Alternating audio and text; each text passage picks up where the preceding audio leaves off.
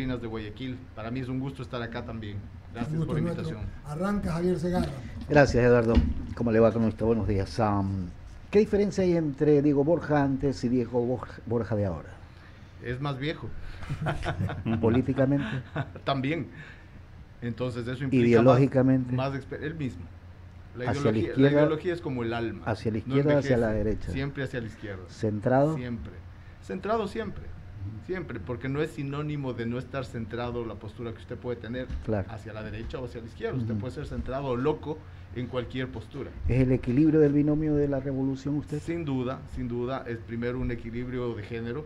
Tenemos una mujer a la cabeza, lo cual es muy importante para este momento en el Ecuador y en América Latina. Me refería al equilibrio por su capacidad de saber administrar en determinado momento. Cada cual tiene sus ventajas, cada cual tiene sus experiencias, sus expertices. Acá hacemos equipo.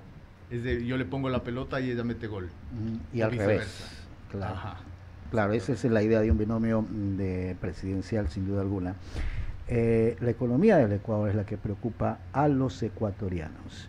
Es tan severa la situación que no sabemos para dónde ir. Bueno, sí sabemos. Nosotros ventajosamente, caminar por ventajosamente nosotros eh, como binomio, como equipo, sí sabemos por dónde tomar. Sabemos cuáles son los problemas, le digo, con, mucho, con mucha humildad, pero también con experiencia. El problema básico que tiene el Ecuador es que hemos tenido siete años de contracción, de reducción de la inversión, del consumo, de la producción. Y eso, por supuesto, genera un conjunto de problemas en el empleo, en el ingreso, en las deudas familiares. El problema más grave es la falta de capacidad de la familia ecuatoriana para llegar a fin de mes, por falta de empleo, por falta de ingreso, porque se ha reducido el consumo, la posibilidad de oportunidades, la gente se va fuera del país. Ese es el principal problema y ese es el que hay que atacar. ¿Cómo logramos superar eso? Varias, varias cosas. O sea, no son 100 horas, no son 100 días, no son 100 minutos. Es un conjunto de acciones desde el primer día, ciertamente, pero no lo va a resolver en un muy corto plazo. Le doy uno. Le digo yo como presidente de la República a la empresa privada, no le cobro impuestos en tal aspecto y le genero y, y empleo. Mire, eh, por ejemplo, es una buena alternativa. El sector privado va a decir, sí, ok, me libero de pagar tal impuesto, yo te agarro 100, 200. Le voy a decir algo, los empresarios privados no quieren no pagar impuestos. ¿Sí, no? Ellos quieren estabilidad, ellos quieren trabajar, ellos quieren la oportunidad de que no les vacunen, de que no les secuestren, quieren la oportunidad de que haya infraestructura válida. no, no es un empresario que no quiere pagar impuestos, por el contrario. Pero me refiero, por ejemplo, a la salida de divisas. Por ejemplo, podríamos... Bájalo podríamos tener diferenciación. No podría, podríamos no cobrar salida de divisas a la, importación de insumos o de equipamiento o de capital. no, pero cuando es una salida de divisas por sí antes ah, eso es otra cosa. Eh, Entonces no, no, podemos tratar a todo con el mismo rasero. Creo que hay que tener diferenciaciones en general. Diego, bienvenido. La verdad es que es un placer tenerte por acá y a los años que te veo. Y mm, lo primero que se me ocurre es estabilizar la balanza fiscal. Y estabilizarla significa o subo ingresos o bajo gastos. ¿Cómo hacerlo? Mira, en, el tema fiscal hay que tener una visión diferente cuando se trata de un país que cuando se trata de una empresa o de una familia. En una familia, si tú gastas más de lo que recibes como ingreso, tienes un grave problema. Pero en el, en el gobierno, en el Estado, el equilibrio tiene que ser en el tiempo. Por eso tú ves países como Estados Unidos, como países europeos que tienen déficit continuo y no quiebran. ¿Por qué? Porque tienen estabilidad en el tiempo. Y esa es la diferencia cuando tú quieres tener estabilidad inmediata. Porque si tú tienes la urgencia de mañana equilibrar el presupuesto, tienes que contraer el gasto. Y si contraes el gasto y contraes la inversión, no generas empleo, no generas servicios, no puedes pagar seguridad, no puedes pagar salud, tienes a los dializadores impagos con el consiguiente perjuicio para los enfermos. Pero y entonces, si entiendo bien la, palabra es, no importa que exista déficit. Exactamente. Pero lo importante es manejar bien, digamos, el dinero en efectivo en este caso para invertir y generar empleo. Exactamente. Hacia allá es donde se apunta. Porque tú tienes déficit hoy, inviertes ese dinero porque tienes necesidad de generar más empleo, más producción y mañana seguramente vas a estar en equilibrio o pasado mañana. ¿Quién nos puede prestar dinero hoy en día? Porque estamos en una situación crítica a nivel económico, es decir, no tenemos la suficiente producción ni en el tiempo ni nada, porque estamos con crisis económica, crisis de salud, crisis de inseguridad. Necesitamos plata y no tenemos... ¿Aquí quién nos va a prestar la tenemos, plata? Tenemos, tenemos. Mira, eh, te doy tres puentes. Primero, si tú tienes la capacidad inmediata de cobrar aranceles que hoy día no los estás cobrando por su facturación, porque no estás usando los escáneres en la aduana, tienes 1.200 millones de dólares en un año. Si tú cobras las deudas en firme en el SRI y no haces cada vez y cuando feriados tributarios, tú tienes 1.500, 1.600 cada año. Estamos hablando ya ahí de aproximadamente 2.700 millones de dólares. 2.7% del PIB más o menos. Pero, perdón que te interrumpa, pero eso no, no, estoy diciendo que esté mal, y es verdad, o sea, todos los, lo han dicho, pero el problema es que no mm. se cobra. O sea, porque, ya sea porque o no tienes plata, esa empresa que le quieres cobrar, ¿no verdad? O simplemente son gente que desapareció porque ya no puede seguir. Entonces, la pregunta del millón es, más allá de que vas a ser más eficiente en el cobro, ¿cómo va a financiar para crear inversión y crear empleo cuando la balanza lo que te dice es 10 mil millones en gasto corriente, 5 mil en otros gastos corrientes, pero no hay inversión o menos, ¿no verdad? Y no hay inversión. ¿Qué, ¿cuál va a ser la estrategia económica que va a cambiar la de la para? Inversión, la de la inversión. ¿Pero cómo? Mira, en el año 2014, en el año 2014 teníamos 15.7% de inversión sobre el PIB. 15.7. En el año 2023 terminamos con 1.8 de inversión pública sobre el PIB. Si tú no tienes inversión, no creces. Estoy de acuerdo. ¿Qué si vas no, a hacer? Si no creces, no tienes recaudación. Eso, invertir, pues. ¿Pero de dónde sacas el dinero? Eso lo estoy diciendo. 1.200 de aranceles. Eso a largo plazo. ¿Perdón? Eso a largo plazo. No, no, no, no, no, eso es inmediato. Todos los días importan. Eh, ya bueno, 3 mil millones recuperas por todos los evasores, ya. Tienes, tienes, tienes tres puntos del PIB. Tienes que tener una estrategia para manejo de deuda. No puedes, por ejemplo, con el Fondo Monetario decir vamos a renegociar montos, pero sí plazos. Y tienes un alivio. Es decir, tú tienes en el flujo, ok. Claro, en el flujo, que es lo que necesitamos en lo inmediato. Si tú tienes la posibilidad con inversión privada, con inversión pública, de recuperar producción petrolera hoy decaída. Tienes un nuevo ingreso. Es decir, hay fuentes de ingreso que no se están usando, a mi juicio, por inexperiencia, inoperancia y también por ciertos beneficios a gente que es vinculado al gobierno. Siguiente pregunta y complicada, porque los ingresos necesitan financiar dos cosas en el pueblo, salud y seguridad. Mira, son dos, dos puntos primordiales y fundamentales. Pero antes de pasar por el tema, más del tema económico, te voy a preguntar cuál es el plan en el IES, que pésimo servicio. Esa, esa, es una pregunta que a todos nos... En el IES. o sea, ¿cuál es el plan que se tiene o qué se tiene en la cabeza para cambiar el servicio al usuario o, o, el servicio como tal? Porque muchos dicen privaticemos o, o, cambiemos la forma de administrar los hospitales o saquemos los hospitales de un lado y dejemos que solamente la gente eh, aporte para recibir una jubilación y que el servicio de salud se lo encargue el gobierno, que es el que supuestamente tiene que dar la cara, no líes. No me has hecho tres preguntas. Yo sé, yo sé. Disculpa. Respondamos. la pregunta. emociona y solo quiere hablar él y preguntar. Respondamos eh, rápidamente una por una. A ver, en el tema de salud, hay, igual que en todo, hay un esquema de prioridades en función de los tiempos ¿no? que tiene la gente. O sea, tú ayer me reuní yo con la representante de las, de, las clínicas eh, impagas por el tema de diálisis. 260 millones de deuda. ¿Cuántas personas reciben el servicio? 26 mil personas. ¿Cuántas personas están muriendo por falta de servicio? De acuerdo a la defunción natural, debería ser 25 por mes. Estamos en 500 por mes. Es decir, es, de locos.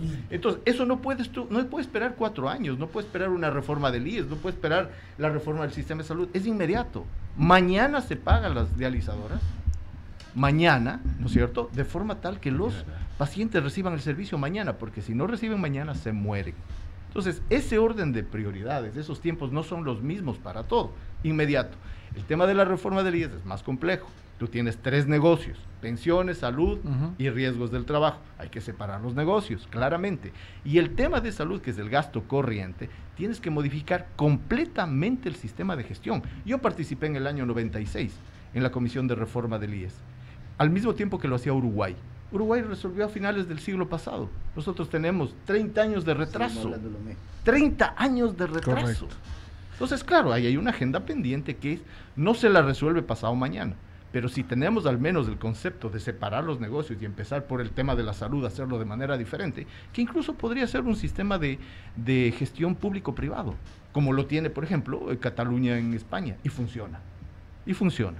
El tema de salud no es un asunto simple en ninguna parte. Mira el problema que tienen los Estados Unidos con el Obamacare, mira el problema que tienen los ingleses también con el sistema de salud. Pero sí se puede tener algo mejor de lo que tenemos, incluso viendo la región, el Uruguay.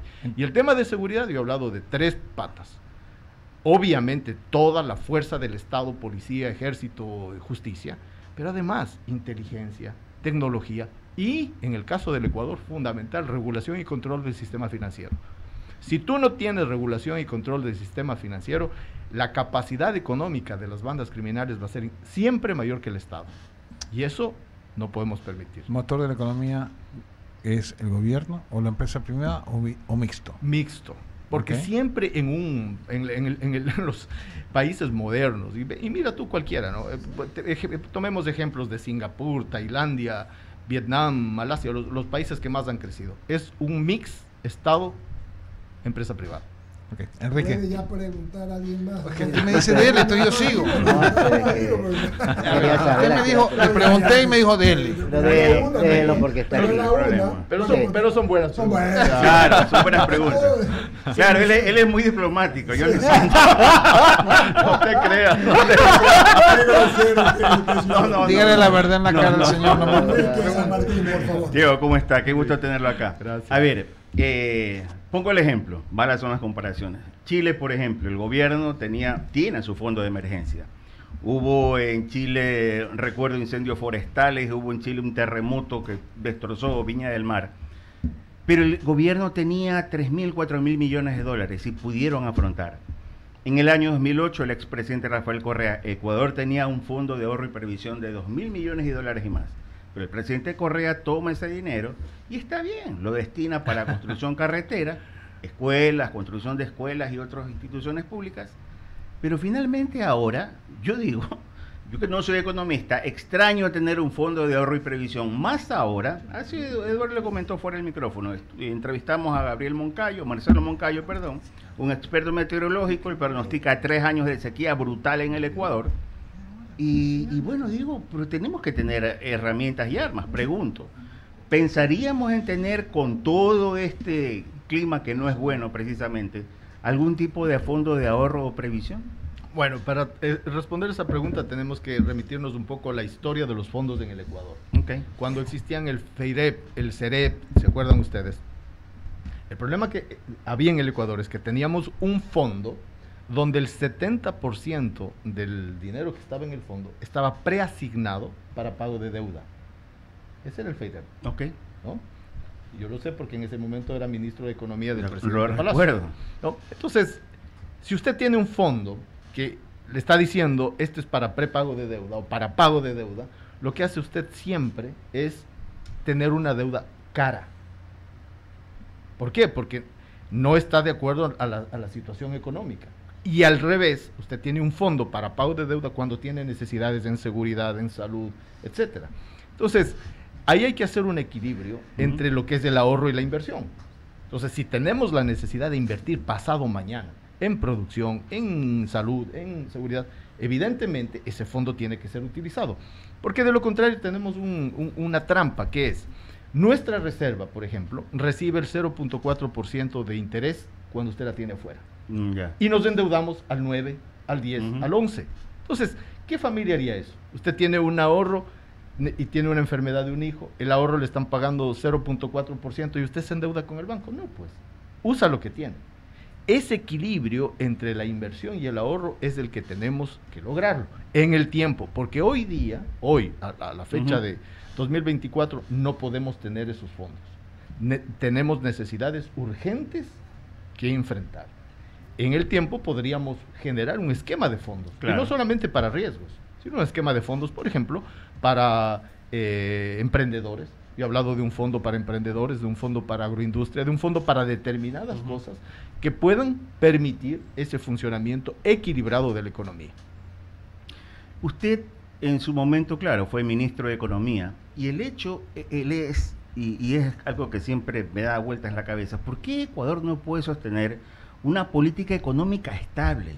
Pero desafortunadamente cada cuatro años o en estos periodos que solo se nos ocurre a nosotros que eh, crear la muerte cruzada y otros temas por ahí, eh, no podemos sostener una política estable, reitero.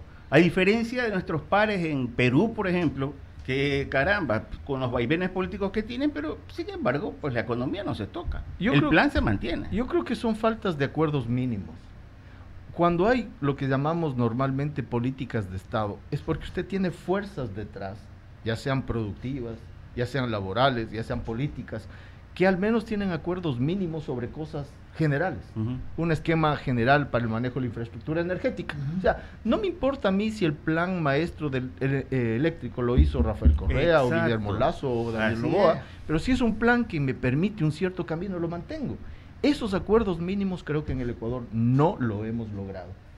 ¿A quién le echamos la culpa? A la falta de responsabilidad y yo creo que de madurez, no solamente de las fuerzas políticas partidarias, del sector empresarial también del sector laboral también. Esos acuerdos mínimos, sector eléctrico, energético, petrolero, laboral, productivo, comercio exterior. ¿Qué importa quién esté al frente del gobierno en el comercio exterior? Tenemos que seguir exportando cacao, camarón, flores, banano, etcétera. Y esos acuerdos son los que yo creo que aquí ha faltado, que evitan precisamente una estabilidad más allá de que haya todo el juego democrático necesario, como en el Perú. No, no, es que estoy de acuerdo con los golpes de Estado, por si acaso, ¿no? Pero, pero, de acuerdo. pero si una política estable. Esto, esto eh, voy a preguntar y luego ir a Guido. Eh, Diego, te escucho, la, ecuanimidad, la posibilidad, por eso este programa se llama Diálogo, tiene 21, diálogo, tiene 21 años porque se puede dialogar. Te escucho y lo más importante es, en este tipo de cosas, cuando hay problemas, crisis, voy a parodiar al fútbol, voy a hacer una metáfora, es parar la pelota sobre el pie, levantar la cabeza y mirar, no actuar alocadamente. Recuerdo unas palabras del doctor Quevedo, mi maestría en, Tecnológico de Monterrey, decía, los directivos y los gerentes apagan incendios. No, eh, previenen incendios, no los apagan. Y es lo que estás diciendo en gran parte. Tú has hablado del IES, tú sabes que el problema con el IES es más grave de lo que pasa, porque tú puedes entrarle a la gente eh, a decir, sí, eh, lo tienes que afiliar porque lo tienes que afiliar. El problema es que ya hay gente hoy día, por lo que te dicen, que piensan que no van a tener para jubilarse, Diego. Entonces arranco con esto como criterio. Entonces, si tú vas a meter la plata en algo que no te va a devolver, ¿para qué? ¿Para qué? No te sirve. Si lo haces también con la salud, ¿para qué? Entonces, esto es algo que sí es muy importante hablar. Ya lo hablaste tú, pero decirte lo que piensa la gente. Además, hay 405 visualizaciones en I99 TV y en CNT Play. Gracias por vernos. Este, a todos les mandamos un saludo. Y ahora sí vamos con, las cosas. Eh, escuché a mucha gente del gobierno actual. ¿Te puedo dar un criterio? A ver, eh, yo conozco bastante bien el problema de la seguridad social. Eh, por varios momentos en el tiempo he participado como académico, como consultor. Lastimosamente no he estado en la ejecución del, del, tema, pero conozco bien y comparativamente con otros sistemas y con los que han funcionado por épocas y otros no. Te pongo un ejemplo. Por épocas eh, era el modelo chileno el que queríamos seguir, ¿no es cierto? El de las AFPs. y funcionó, funcionó 15, 15, años funcionó, pero luego de los 15 años quebró el sistema, ¿no? Entonces, quizás la ventaja de no haber hecho todavía la reforma es que podemos mirar todo el esquema. En Colombia, tienes un esquema mixto, tienes un esquema de eh, pago eh, inmediato, ¿no? Pay as you go se llama, y un esquema de capitalización individual. Y más o menos funciona. tienes el esquema eh, estatal en el caso uruguayo y funciona.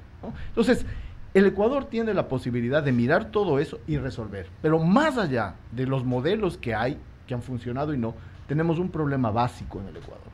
Y no va a funcionar seguridad alguna si eso no lo resolvemos que es el empleo adecuado versus el empleo inadecuado. Si tú tienes dos tercios de la mano de obra que no está afiliada, no hay seguro que aguante, no hay posibilidad alguna. Uno de los temas fundamentales que tenemos que empezar resolviendo es aumentar el empleo que aporta. Mira, en el año 2014 siempre pongo 10 años atrás el ejemplo, teníamos 2.100.000 personas afiliadas al Seguro General Obligatorio. Hoy tenemos 1.800.000. 10 años después. Cómo, hay ¿Cómo ha venido el desempleo de la gente y la, la, poca productividad? Porque si no hay productividad, no hay empleo. Pues. Entonces, tú tienes 300.000 personas menos afiliadas en 10 años que ha aumentado la población, que debería haber aumentado en la misma proporción el empleo adecuado. Tienes lo contrario. Entonces, ¿qué es lo que falta en el Ecuador? Una política de empleo que está muy ligada, muy, pero está encadenada a la política de la seguridad social. Pero también, Diego, tienes que ofrecer buenos servicios. Ya, está, estoy empezando por el tema del aporte, ¿no? Ahora, luego viene la gestión y evidentemente tienes una gestión. Es una desgracia que la gente la tengan seis meses sin operarse, que la maltraten, que, que al hospital, sigue al hospital y, y, te tiren en el suelo porque no hay una cama. y para eso no hay excusa. Eso no, es un, eso no es un tema de, ingresos, eso no es un tema de aportes, es un tema de gestión y liderazgo. Y eso lo puedes resolver muy pronto con visión y con liderazgo. Mm. El sistema eléctrico nuestro eh, se declaró, como lo hizo la constitución de Montecristi, estratégico, es decir, lo puede solo manejar el Estado. Como estamos viendo hoy, eso ya es obsoleto. Necesitas hacer lo que dijiste tú, tienes que hacer sistemas mixtos. Además, se metieron que esto es una desgracia. Yo no he visto un presidente, desde que yo me acuerdo que manden, manden los mandos medios, que siempre están, porque ellos siempre están y generan problemas ellos mismos por negocios contra la, contra la honestidad y contra la corrupción. Hacen negocios y sufre la gente. Entonces, ¿qué harías tú de tener esta posibilidad? ¿Tú harías que una reforma a la constitución? A, la ley, harías otra constitución para que este sistema que se tiene que implementar los próximos años, porque es un problema de agua, en lo que tenemos el tema climático, etcétera, para que pueda invertir el sector privado en, el, tema eléctrico, en el tema de luz. A ver, eh, yo te digo, yo conozco el sistema de seguridad social, el sistema eléctrico no conozco. Me he dedicado en los últimos 15 días a reuniones con expertos, a análisis del plan maestro eléctrico, a ver cómo está la situación. Eh, ventajosamente aprendo rápido y puedo ver ¿no? que no es un tema ni de cambio constitucional ni de cambio legal. Estaba viendo aquí eh, que es, hoy por hoy existen ya inversiones en, eh, privadas en el tema eléctrico que son importantes. Y hay un conjunto de inversiones que están funcionando desde el año 2018 con la ley eh, eléctrica del 2015. Y tienes este momento, hoy por hoy, tienes varios proyectos privados hidroeléctricos. ¿no? Tienes el proyecto, por ejemplo, Hidroalto, ¿no? privado. El proyecto Hidro Normandía, privado. Ail Energy, privado. Ecuagesa, privado. Hidrosicchos, privado. Y son montos importantes, 49.71 megavatios, 49.58, 38.25, no son 10, no son 10. Y están funcionando, ¿no? Desde el 2017, 2018 en adelante. Entonces, no es un problema de la ley, la ley te permite. El problema es un problema de gestión del sistema eléctrico, de continuar con el plan maestro eléctrico, de generar más afluencia de inversión pública y privada, de mantenimiento del sistema ya montado, de aumento del sistema de generación, de mejora del sistema de transmisión y de distribución. Por ejemplo, concretísimo, si es que se hubieran unido todas las camaroneras a esa urgencia que tenían de reemplazar el diésel por la electricidad, estaríamos quebrados. Más todavía en el sistema eh, camaronero, en todo el sistema camaronero, y eso implica caída de divisas, disminución de la liquidez y peligro de la dolarización. Peligro que se vaya. Entonces, mira, esto es por no tener un plan eh, para implementar un plan maestro que está ahí. Tú, les dices, reemplacen el, diésel, ya. Y, si no tienes las líneas de transmisión, y si no tienes la capacidad de generación, ¿no? tienes ahí un problema. las mineras, las mineras, las grandes, te consumen más energía eléctrica que toda una población. Y tú tienes una tarifa inadecuada. Le estás subsidiando a una minera. Y más aún a la minería ilegal. Sobre todo a las grandes, también a la ilegal. ¿no? En desmedro de la población. Una minera grande. ahí está un punto interesante. Ese es un punto tú, concreto. tú lo puedes resolver pasado mañana. Pero obviamente hay otras cosas que no son pasado mañana. La utilización del gas como un insumo, llamémoslo así, para la generación de energía. Tienes 240 mecheros quemándose en la Amazonía. Y no has hecho nada durante cuántos años? Mires, no mires, eh, decenas de años. Y estás ahí quemando el gas cuando podrías tener una eh, refinación del gas, porque no lo puedes usar inmediatamente y generar, según expertos, varían de 200 a 300 megas. Eh, la, explotación del gas aquí del Golfo. Campo de amistad. ¿No es cierto? No solo amistad. Fíjate, ayer justamente veía datos. Perú, 1.300 millones de metros cúbicos de gas. Colombia, 1.000 millones de metros cúbicos. Ecuador, ¿cuántos? 20 millones de metros cúbicos. Vergonzoso. En la misma línea gasífera. Entonces, también es inacción, también es inacción el problema que tenemos, más allá del tema climático, más allá de las manchas solares, más allá de... Déjame, parodiar lo que estás diciendo, y a ustedes amigos que nos ven y nos escuchan. Y a ver si, te, voy a, te voy a dar un poco, te voy a sacar del tema sin salirme es un poco la visión de lo que pasa en el Ecuador con la gente, que no, eh, no mira, no cree que le van a pasar cosas, con el seguro concretamente, ¿no? El otro día me contaba alguien, tenía su empresa un seguro, y lo dejaron de pagar, no, Dios ha de querer que no pase nada. no puedes estar en esas instancias, pues, cuando tienes una empresa, familia, tienes que pensar que cuesta y que te va a sacrificar de poder irte a comer una pizza afuera o dejar alguna cosa, pero tienes que tener previsión. Lo que estás diciendo es lo que pasó con, con, el tema del agua. Oye, esto de aquí yo se lo escuché decir a Pancho Huerta hace 35 años, cuando él hablaba de los cultivos hidropónicos en las casas, y nadie le paramos bola. Te estoy hablando yo, un muchacho, joven, ¿ya? Y mira lo que pasaba después. Entonces, el ecuatoriano tiende mucho a, ya se arregló, vamos y estas cosas son de fondo. Lo que está diciendo, como lo que acabas de decir en lo de que yo no lo sabía, el tema del, tema privado, pero también en el tema de seguridad social eh, que tú has comentado y, es importante. Y, ahí viene otra pregunta, en el tema de seguridad social. Mira, el Banco del Pacífico es el ejemplo de un banco que tiene su administración, es, del Ecuador y su administración es privada. Se podría hacer con ONGs, o se podría este, eh, concesionar la administración de hospitales para que haya cero corrupción eh, a ONG o a empresas que quieren hacerlo controladas por el Estado. ¿Qué te parece? Se podría hacer, se podría hacer. Yo no te digo a raja tabla que no ni que sí. Creo que es importante adecuar al modelo que tenemos los ecuatorianos, ¿no? Y a la situación que tenemos. Porque nadie te dice que en esta situación haya alguien que quiera hacerse cargo. Pues, Entonces, tenemos que ver cómo, cómo, y, y, y eso, mira, hay empresas públicas que funcionan el sistema de empresas públicas de Medellín es el ejemplo emblemático, ¿verdad? Funciona. La empresa de agua potable de Cuenca, en nuestro caso, funciona. La empresa eléctrica de Quito, funciona. Son empresas públicas con cierto componente de administración privada. El Banco del Pacífico. Entonces, creo yo que estamos en el momento de salirnos de la caja. No es un tema de ideología y aquí decir, bueno, aquí es el Estado y nada más que el Estado. No, es lo que funciona. A mí me gusta la frase de Deng Xiaoping, ¿no?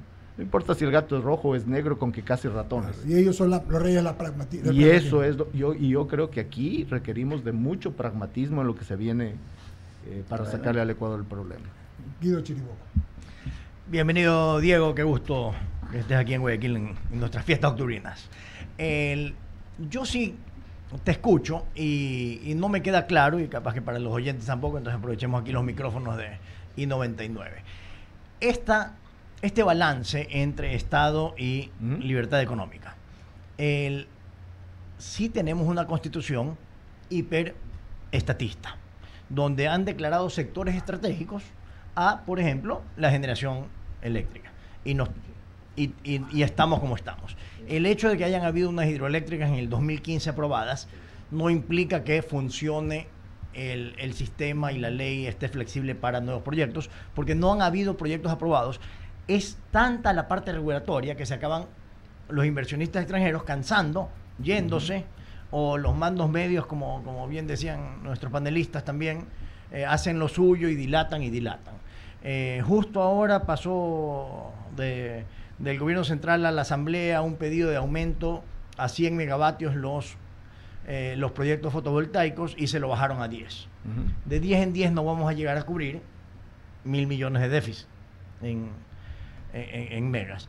El, entonces, más bien desregularizar cierta parte de la economía para que puedan venir inversión extranjera, que versus Perú, versus Colombia, lo que recibimos es 1,5% de la inversión de nuestros países vecinos.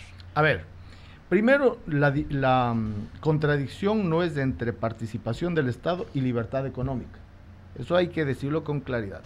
Tú puedes tener libertad económica con una participación adecuada del Estado y con una participación privada. Y podrías no tener libertad económica solamente con participación privada. No es dicotomía. Te vuelvo a poner el ejemplo. O si te vas a monopolios, ahí está un ejemplo claro de, lo que eh, tú indicas. Pero, tú, pero fuera de monopolios, ese balance sí está. Porque podrías tener un monopolio privado también. Bueno, eso fuera, ¿no es cierto? Fuera o podrías que, no, es que el monopolio ya no es libertad económica. Entonces, no es dicotómico. Tú puedes tener un ámbito de lo público y un ámbito de lo privado claramente establecido. Mira, en la Constitución, claramente, no, no dice que no puede haber delegación privada en los, en los sectores llamados estratégicos. El obligado a darte el servicio es el Estado. Pero eso no quiere decir que no puede haber delegación, eh, participación, etcétera. Mira, el problema con los 10 y los 100 megas, ¿no? Hoy día dicen solamente hasta 10. No, no. El problema es solamente hasta 10 sin proceso público de selección. Eso dice la ley. Eso dice la ley. Actual. Actual. O sea, lo que tienes que seguir después es un... Es un si tú quieres tener más de eso, tienes que seguir un proceso público de selección. Tiene un tema tarifario también. Hasta 10 tienen una tarifa, pasados los 10 ya entras a un Eso es lo que hay que corregir. Entonces, no es el problema ni de la Constitución, ni es esta ley es del 2015. Es del 2015. Es el problema de la gestión en el plan maestro e-, eléctrico, es el problema de cómo no has resuelto los asuntos tarifarios, es el problema de los subsidios indebidos, por ejemplo, a los grandes consumidores de energía. ¿Y quién termina pagando la factura? La gente. Y más cara con los apagones. Te quiero reiterar que no es un problema de ley el que impide la inversión privada. Bueno, ahí discrepo porque yo creo que al estar... No, pero si es que la ley regula el precio de algo, pasas a tener escasez, pasas a tener... Porque, y también si, el, si, ese, si ese precio es a dedo del gobierno de turno y lo puedes subir o bajar, entras en clientelismos y amiguismos. también que es pongo el ejemplo y permíteme, a la inversa. Hemos fijado una tarifa para las mineras muy por debajo del costo. La minera china, la concesión, hay, hay dos concesiones mineras grandes en el país y solo dos ahorita, lastimosamente, ojalá, ojalá hubiesen mucho más, pero no con las normas actuales, porque estos chinos ahorita tienen por contrato 5 centavos el kilovatio, más barato que lo que pagamos cualquiera, de nosotros, a 5 centavos. pero el contrato también los obliga a autogenerar. O sea, los 5 centavos era para el arranque, pero no han hecho nada para la autogeneración. y ellos consumen 100 megas, una barcaza. La famosa barcaza entera en una concesión minera. Y si estuvieran en operación completa, llegan a consumir el tamaño de, una, de una ciudad como Cuenca. No, sí, no, Entonces, no mocache, y, eso, y eso no es un tema legal. Es un tema de hacer incluso. Pero es un tema regulatorio, Diego. y ahí es donde viene el tema del hiperestatismo, que ahí sí discrepo contigo. Pero vamos, vamos a otro lado. Con mucho eh, gusto. Está bien. Porque no lo hemos topado y también es otra, otra, parte importantísima del Estado. Y esa parte sí creo que es indelegable del Estado en cualquier, en casi cualquier forma. La seguridad. ¿Cuál es la postura tuya, de tu binomio, eh, del partido al que con, el que estás participando, en cuanto a trabajar de gancho con los GDOs o darles guerra a los GDOs. Todos nos acordamos que pues, los Latin King era, pasaron a ser casi Boy Scouts alguna vez en el, en el discurso político y obviamente y, ahora fueron declarados como eh, organizaciones eh, narcodelictivas, parte de una guerra del Estado contra ellas. En en esos extremos, por llamarlos así, cada uno tendrá pues sus visiones, eh, ¿cuál es la tuya mirando hacia adelante y cuál es la de, una cosa es cuál es la tuya que quisiera escuchar y cuál es la de tu, de, tu, de, tu, binomio y lo que sería el gobierno. Es que la mía es la, visión del equipo, ¿no? no es una visión personal. es una visión del equipo, es una visión del binomio, es una visión Bueno, si pudieras discrepar en algunas cosas también. he discrepado y es público la discrepancia, ¿no? no, eh, no se trata de tener homogeneidad de criterios, se trata de tener una homogeneidad de objetivos y de acción a dónde vamos. Y ahí estamos clarito que vamos a resolver y solucionar los problemas básicos del Ecuador. ¿Cuál es la visión? Toda la fuerza del Estado, toda, policía, Fuerzas Armadas, justicia, y eso implica modificaciones internas para combatir a las bandas delictivas toda la fuerza del Estado. O sea, no puede haber en un Estado Sin excepción. contemplación con aquellos que te están matando, secuestrando, robando, vacunando. No puede haber, porque se pierde la naturaleza del Estado. El Estado, por concepto, por definición, tiene el monopolio de la fuerza. No puedes compartir el monopolio de la fuerza. Simplemente no funciona. Se convierten en estados fallidos, como estamos viendo, por ejemplo, lastimosamente en países de la región, que no me quiero referir, pero ha sucedido. ¿ok? Primer punto. Segundo, no solo basta la, el enfrentamiento eh, con toda la fuerza policial o militar, no solo basta. Pero sí vas con eso. Vamos, en primer lugar, te estoy diciendo, fundamental. No puede haber ahí contemplación. Y tiene que ser con inteligencia. Cuando digo inteligencia, es con inteligencia militar, con inteligencia policial, con inteligencia criminal, con inteligencia financiera, con inteligencia y con tecnología es lo que te pide la policía siempre. Con tecnología. Estamos en, en, el año 2024. Hay inteligencia artificial, hay metaverso, hay aplicaciones y device, digamos así, a disposición que pueden contribuir enormemente y a bajo costo. ¿Involucrarías al ejército en esta lucha? Es que el ejército es parte de la fuerza pública y tiene un componente fundamental, incluso sin, sin estado de emergencia, en el resguardo de las fronteras, en el resguardo marítimo. Y eso tiene que cumplirse, ¿no? Segundo. Y tercero, y insisto yo en eso, regulación e inteligencia financiera. Este es un país dolarizado. Por tanto, es un imán para el lavado. Si tú no tienes inteligencia financiera y regulación, no vas a poder combatir. Porque si hay diferencias. Tú vas a depositar eh, mil dólares y no te quieren. Te, te revisan, pero hasta. Pero te garantizo que si viene un cliente que te deposita tantos cientos de miles, no pasa nada. Pasa. Entonces, Parece mentira que es lo uno contra lo otro. Regulación. Y, permítanme ponerles un ejemplo para poder ser pedagógico, si.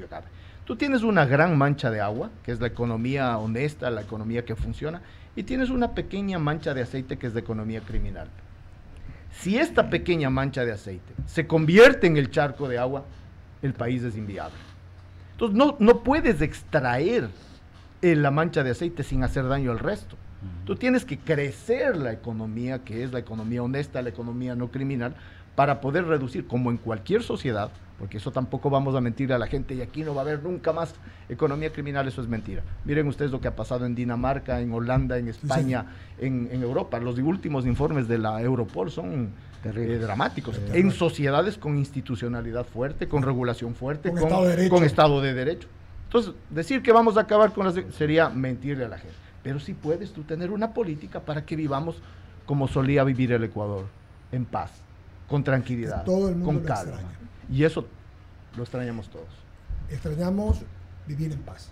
Eh, amigos, más preguntas, abiertas. ¿Usted pondría la base de Manta? No, no, definitivamente no. ¿Cómo controlamos? Yo soy, yo soy totalmente contrario a la existencia de fuerzas extranjeras en territorio nacional de fuerzas extranjeras, y me refiero a todas las fuerzas extranjeras. Creo que nosotros somos lo suficientemente capaces para tener eh, nuestra autonomía en el manejo de nuestro sistema de fuerza pública. Pero es que a veces por política no se hace ese manejo que sí cabe que debe hacer. Eh, mire, eso, eso lo he estudiado también, Javier, eh, bien. Mire, mm. cuando se da la fuerza de ocupación en Afganistán, ¿no? el tráfico de opio ah, creció. Entonces no es sinónimo de disminución del narco el que usted tenga fuerzas extranjeras en su país. Diego, el Ecuador estuvo preparado para una constitución tan garantista como la que hoy tenemos. ¿Hay cambios? ¿Hay algún, en el plan se tiene reformar la constitución o desecharla, traer una nueva? ¿O creen que es la perfecta? No, mira, hay una discusión, no, no, voy a negar lo que es público, hay una discusión incluso interna en nuestro movimiento sobre la necesidad de modificar la constitución. Yo particularmente no soy partidario de hacerlo inmediatamente. No digo que no se lo haga, inmediatamente. Creo que hay, que hay prioridades mucho más inmediatas que hacer una nueva constituyente o una nueva constitución. ¿Qué ha pasado?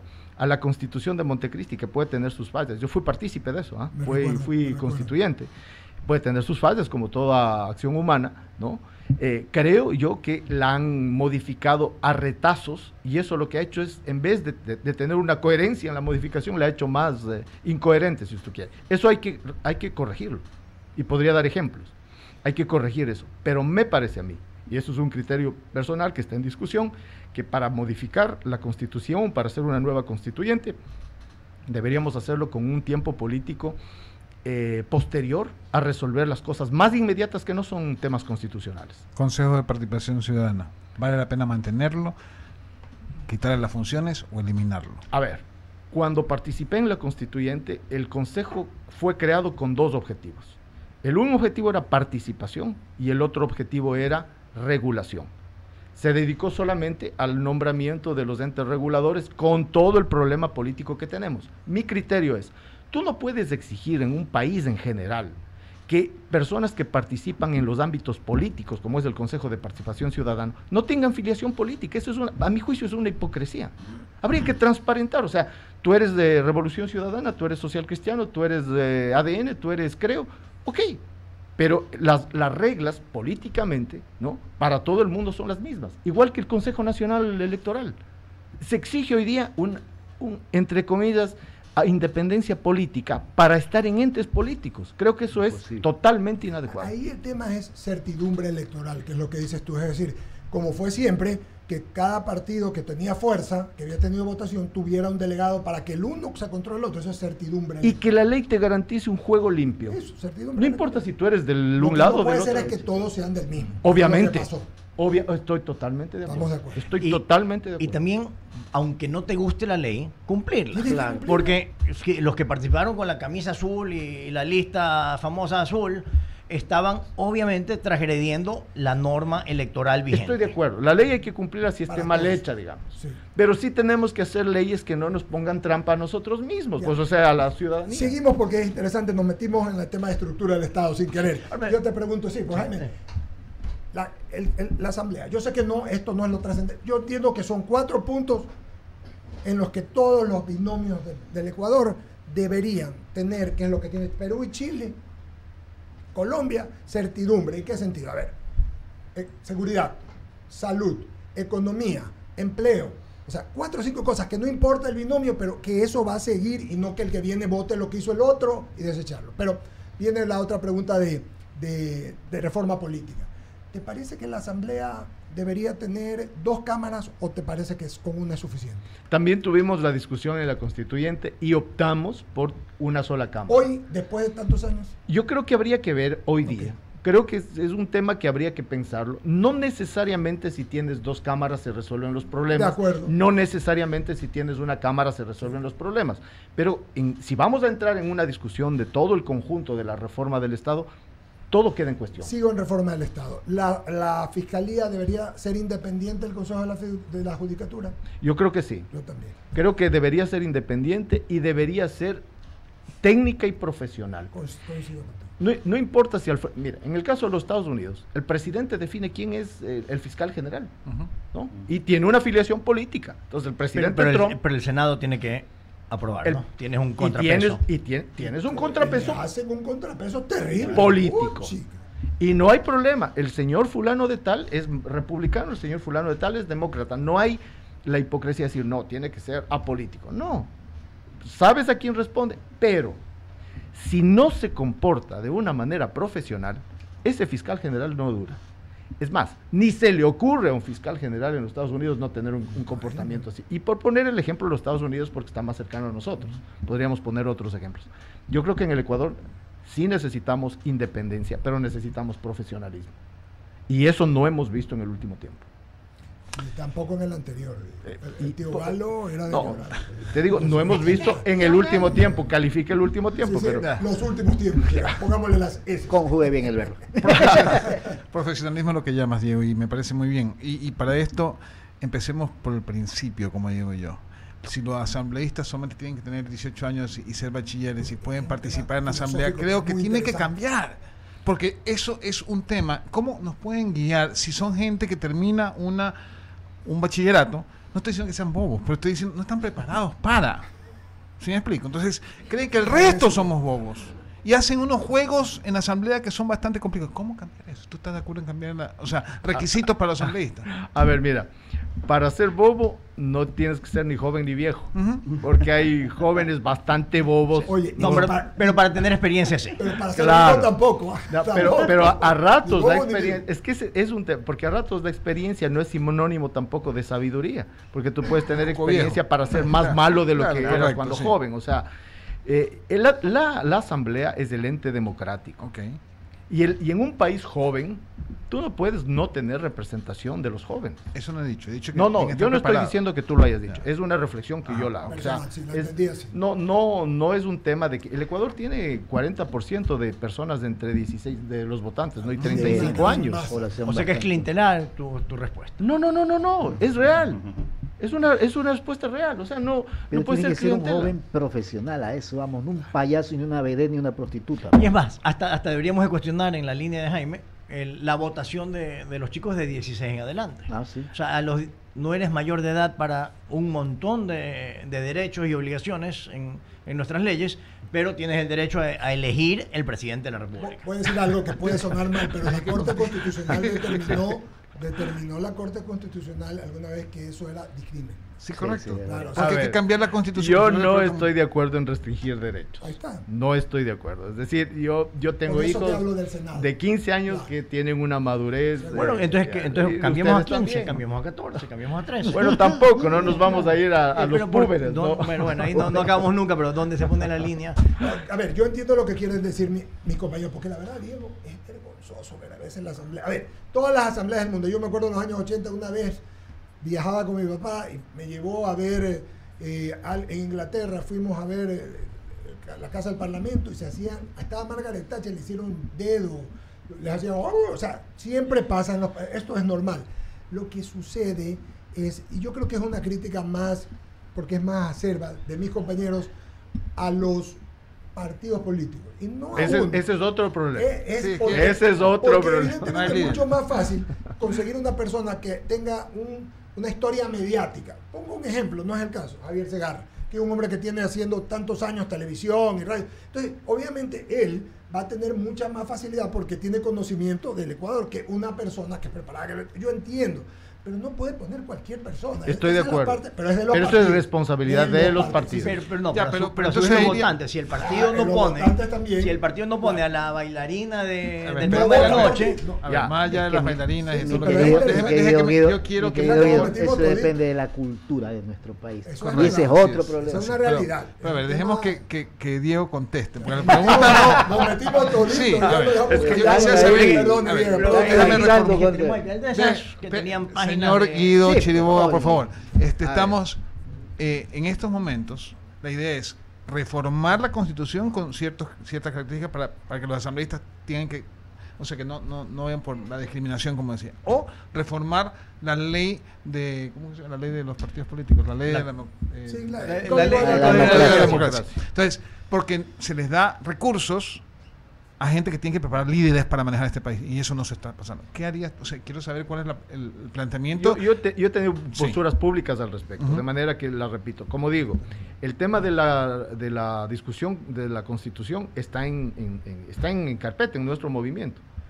Yo he dicho, yo soy favorable a ir a una reforma constitucional en un tiempo que sea el adecuado el adecuado, porque hay unas prioridades inmediatas. No estamos como en el año 2007 que llegó el presidente Correa, convocó al poco tiempo, es otro tiempo, es un momento en el cual tenemos aquí prioridades de gente que se nos muere, ¿no? O sea, y eso es lo que hay que resolver ya.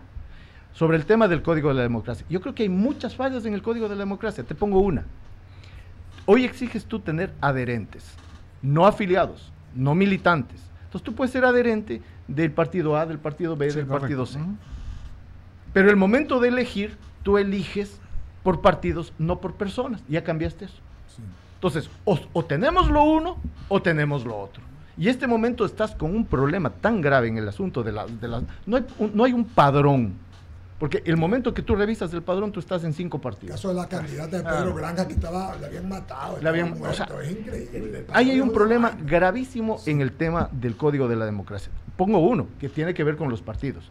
Yo estoy de acuerdo con el financiamiento público a los partidos, porque de lo contrario tú tendrías que el manejo de una chequera más grande se pone por encima de la política y de la ideología, y eso no puede ser, es discriminatorio. Pero tienes que exigirles a los partidos que cumplan con determinados mínimos. Tú no puedes financiar a un partido que durante tres elecciones seguidas no saca ni siquiera el 2%, pues debería ser, deberían devolver ese, ese, dinero. y veamos ahí a, ver quién se mete. Eso, eso ya está en el código de la democracia y, es con dos elecciones. El problema, como dice el director, es que es que no se cumple, esa sanción. No hay quien la haga. No hay, no hay más. Ahorita tenemos. Tú eres uno de 16 binomios. Es una locura tener 16 binomios.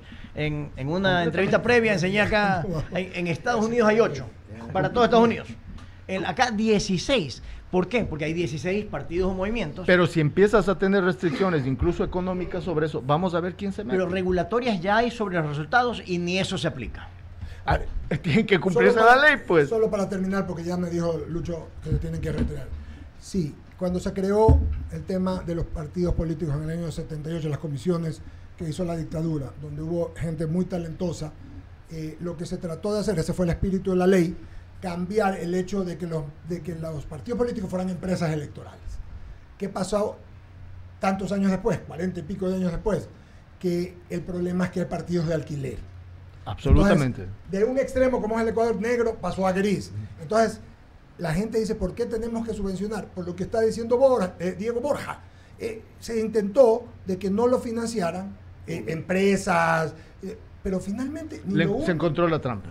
Ni uno ni otro, entonces hay que buscar. Ya, por ejemplo ahí, si una persona llega por un partido a la asamblea y se cambia de partido, debería ser motivo de destitución. Yo también creo igual que tú. Debería ser motivo de destitución. Porque de lo contrario, entonces yo te uso a ti que hoy día eres popular y el día de mañana ya no eres popular, me cambio al otro lado. además eso procede para unas cosas no muy cristianas. Pues, Exactamente. Exactamente. Bueno, querido Diego, ya están aquí ya hace 10 minutos. Se lo llevan en pecho. Hemos preguntado y nos hemos quedado. Dice que pero ha sido. La entrevista continúa en el patio de comidas. ya usted quiere bajarlo a no, no, no, se va a crear. Diego, gracias por estar. No, a ustedes, gracias por Un gusto verte. Esperemos volver a conversar. Gracias, con mucho gusto. Y que con esta amplitud como hemos tenido contigo, con la mayor parte de los candidatos que hasta ahora tenemos, espero democráticamente seguir conversando, dialogando, para que la gente aplique la lógica formal, escuchando y vote por el que considere el mejor, no por el que le den diciendo que vote, como se dice en la sierra. Vamos al corte con la parte de Guido eh, cuando regresemos de Estados Unidos de la elección y regresamos.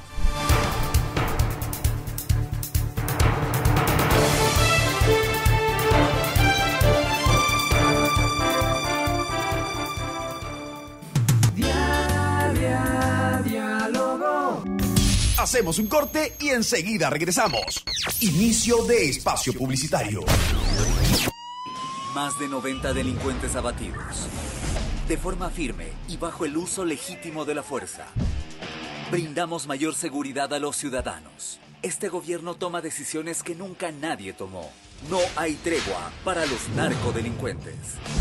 Con acciones decisivas que buscan devolver la paz. El nuevo Ecuador.